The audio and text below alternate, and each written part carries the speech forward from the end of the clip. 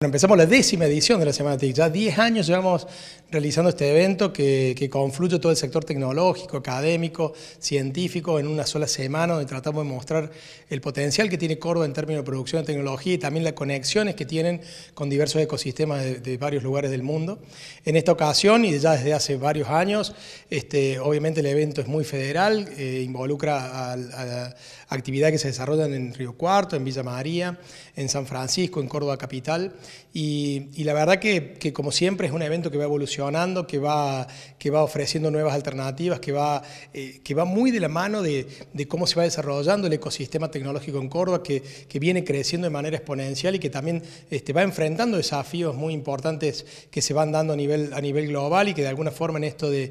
que, de cómo crece el, sector tecnológico en la provincia de Córdoba, también el reflejo de la Semana TIC tiene que ver con eso, es este, cuáles son esas perspectivas, cuáles son esos horizontes que el sector tecnológico está, está viendo y que se pueden expresar y se pueden mostrar en una semana en donde se viven muchísimas cosas y la verdad que tenemos expectativas muy importantes. Específicamente en Río Cuarto, ¿qué actividades vamos a poder disfrutar en la Semana TIC? Bueno, en esta ocasión, este año, eh, coincidió que la Semática arranca el día, lunes en Río Cuarto. Este, se está desarrollando ahora una actividad muy importante que tiene que ver con el,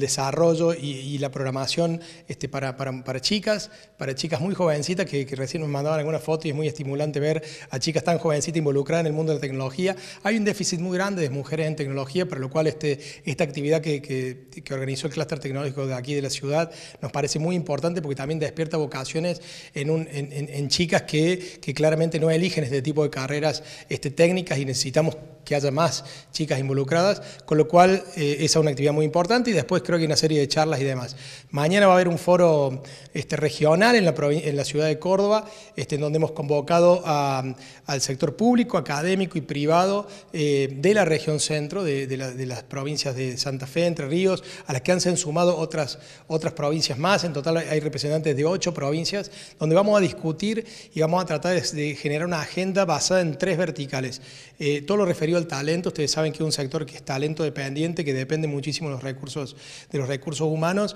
y, necesitamos empezar a entender de qué manera podemos reproducirlo de una manera más eficiente para lograr una sostenibilidad en el tiempo.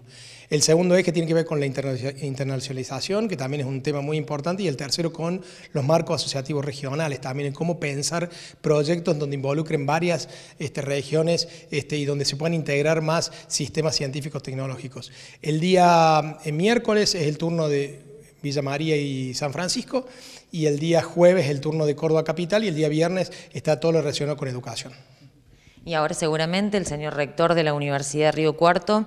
le va a comentar cuál es la realidad en el sector científico-tecnológico de nuestra casa de estudios, lo que se viene realizando. Sí, la verdad que trabajamos muy de cerca con, con el rector, con toda la universidad, con todo su equipo.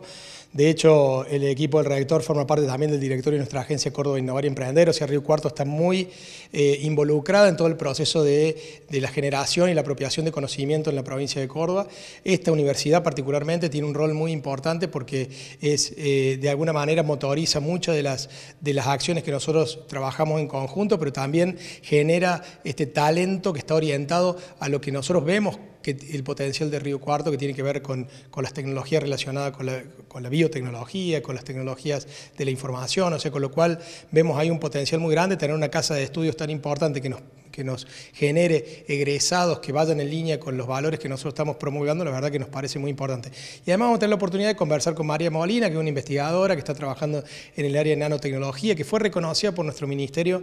este, en un programa que tenemos de reconocimiento de mujeres en ciencia y también creo que por una fundación que ahora un premio muy importante. Así que la verdad que siempre que venimos a Río Cuarto tenemos una agenda muy llena de cosas, porque justamente también Río Cuarto tiene esas cosas de tener este, mucho para atender y la verdad que estamos muy contentos de trabajar en equipo con ustedes.